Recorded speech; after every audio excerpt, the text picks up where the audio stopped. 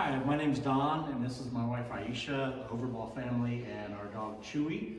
Uh, it's been awesome since we've been here to pick him up. Uh, he's actually been almost a completely different type of dog. Yes. And relaxing and sitting and heeling, and where before he was just uh, not out of control, but he was a puppy. Uh, so it was really control. great. so it was really great for him to be able to see what Casey's been able to do with him. Uh, and honestly, he's already a changed dog and look forward to uh, getting him home and seeing all that he's learned.